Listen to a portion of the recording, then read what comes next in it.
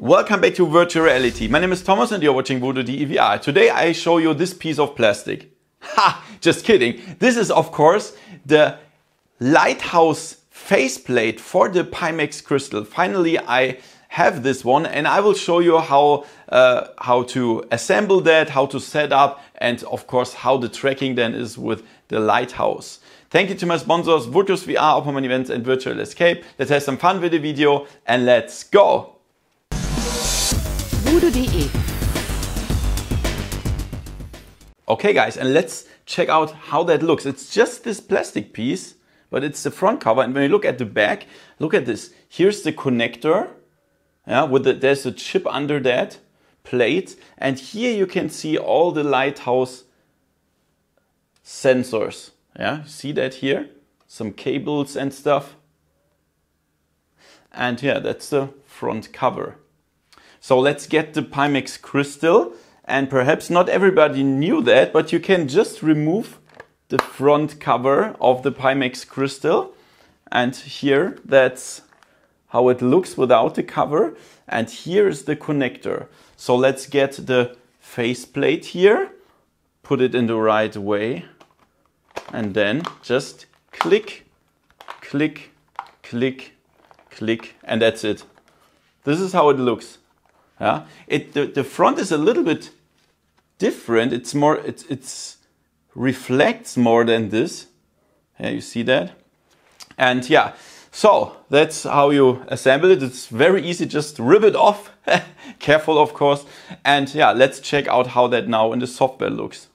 Okay guys, and when you connected and assembled everything right, it should look like this here. Yeah. So normally here you see the headset, but now it's switched to base stations and you can see the two base stations. By the way, I'm using the 1.0 base stations from the old Vive from 2016 and it still works without any problems. So when you go to device settings, here you can see there is a switch now from Lighthouse to inside out tracking. So you can uh, change that whatever you like. But of course, if you have the Lighthouse uh, module, you should use that because it's much more precise. And yeah, then you can go for set pair. And as you can see, here you can choose between Vive controllers, index controllers. So what I use are the index controllers, of course, but you can even do full body tracking with the Vive trackers or Tundra trackers also. Just choose that one. And of course the uh, sword controllers by Pimax. You can go for everything.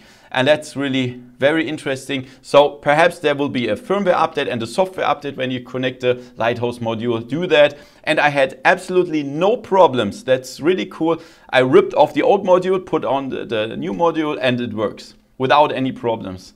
And that's fine.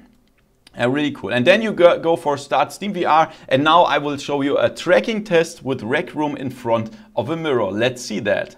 Okay guys, welcome to a tracking test. So here we are in Rec Room. That's my test always. And yeah, as you can see, we have very direct and tracking without any lags or any delay or something like we know that from uh, every uh, lighthouse system. Look at this, just very precise. No problem at all. Can even hold it in front of each other. There is no problem. It's ultra precise, very direct. And the big difference to all the other controllers with uh, camera tracking uh, from the headset, look at this. I can hold my hands behind my back and it's still tracked.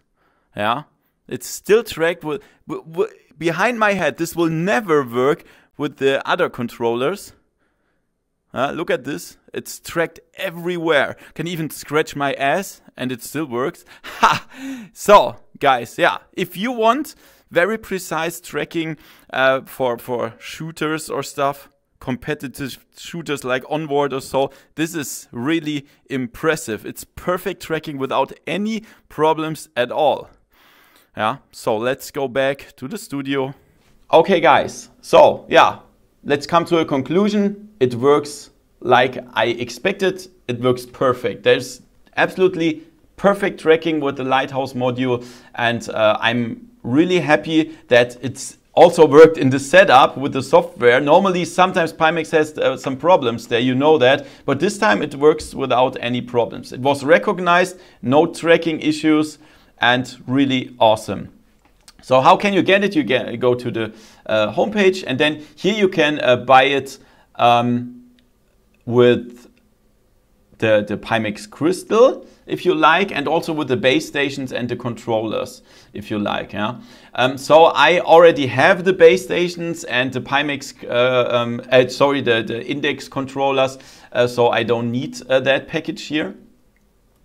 Um, so if you already have the base stations 1.0 or 2.0, you can use them. Uh, you can use all the equipment from Lighthouse. That's really cool. Uh, and yeah, so now the Pimax, I mean the Pimax Crystal was e even very good without that, but with the Lighthouse module, now you have a really perfect VR headset with an awesome display and perfect tracking. Of course, it's very expensive if you need everything. If you need the base stations, the controllers, the headset, and the faceplate, it's very expensive. But um, then you, you really have a high end and stuff. Yeah, it's really high end. It has eye tracking, uh, auto IPD, and all the stuff what you need uh, in one headset. Of course, it's not light. You cannot compare it to the Bigscreen Beyond, but it has a bigger field of view, of course. And uh, I, I, definitely recommend this headset. Even more now with the with the Index uh, controllers and the faceplate. So guys, please don't forget to go via my link and use my coupon code VoodooDE to get $20 off. And you can also use the Voodoo 10 uh, coupon code uh, for $10 off the faceplate. You can check everything in the description and the first pin comment. Really nice. So I'm happy about that. I hope you liked the video. If yes, give me a thumbs up, subscribe, and see you next time in virtual reality. See ya!